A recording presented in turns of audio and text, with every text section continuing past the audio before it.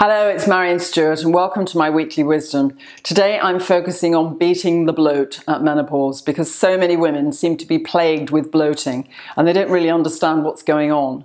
Apart from the fact that we make about 1.5 litres of gas a day, which is bad enough, we also gain weight around the middle and feel very bloated at menopause. And there are underlying reasons, so I wanted to share some of my secrets with you because when you can't do your clothes up and you're feeling really bloated, apart from feeling embarrassed, it's not very good for your self-esteem either. So first of all, you may have heard me talk before about nutritional deficiencies, but having low levels of important nutrients doesn't make it any easier because you need those nutrients in order for your brain chemistry and your hormones to function normally.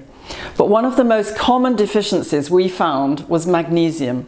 And magnesium is in short supply in between 50 to 80% of women of childbearing age, and that can get worse as you get older. And you don't store magnesium in your body, it actually goes in one end and out the other, and that's the whole point. So, if you're short of magnesium, the muscles in your gut, which are meant to relax and contract rhythmically to propel the motions from one end of your gut to the other, they just go into spasm. So, everything can become hard and compacted, and so that's why at least half of the women I see suffer with constipation.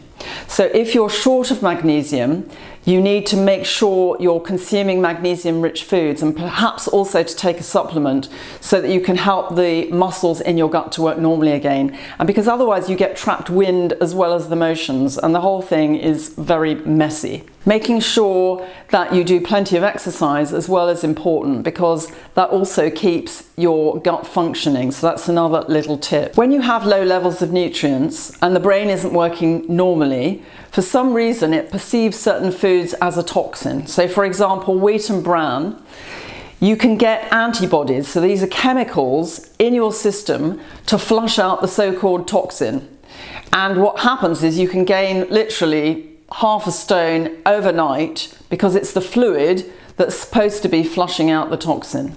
So if you come off wheat and bran, just even for a couple of weeks, if you're suffering with this, you'll notice that you pee the fluid out and you won't be anywhere near so bloated. So lots of things that you can do to reduce your bloating at the time of perimenopause and menopause. And if you'd like to find out more tips and tricks about how to control your other symptoms, then please come to my free masterclass and find out what's going on in your body and how you can fix it so that you can reclaim your well-being and feel better than you can remember.